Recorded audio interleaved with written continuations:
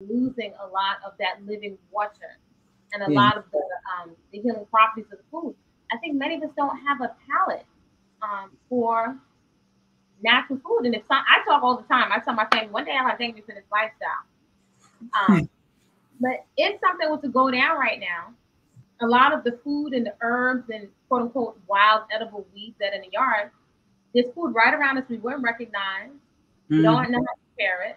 We don't yeah. know how to prepare some things like, let's say, for example, where I am right now, this chaya, which is uh, a, a, lot of nutrition in it, but that's something that I wouldn't eat raw. Right now, I have ackee. My ackee tree for the first time give me a lot of fruit.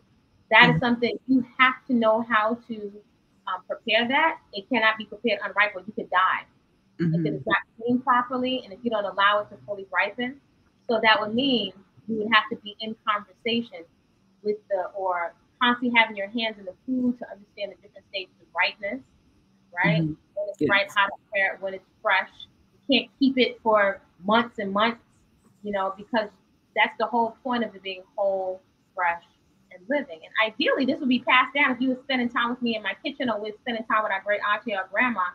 That's how the wisdom of the food would be transmitted, you know, along with other cultural values. This is how you clean your yoni, and this is good for your yoni, and this is good when you have breast milk, and if your baby has chicken pox or the mumps or the measles, this is what you do. That's how that stuff was transmitted when we were sitting down with um, our aunties making holiday meals.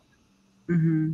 So um, I think yeah. a lot of the wisdom of the food is missing, right? We have access mm-hmm. to it, but mm-hmm. it's like we have, we have treasures, we don't know how to use it. Mm-hmm. Yeah. Yeah, I agree. Yes. So do, do you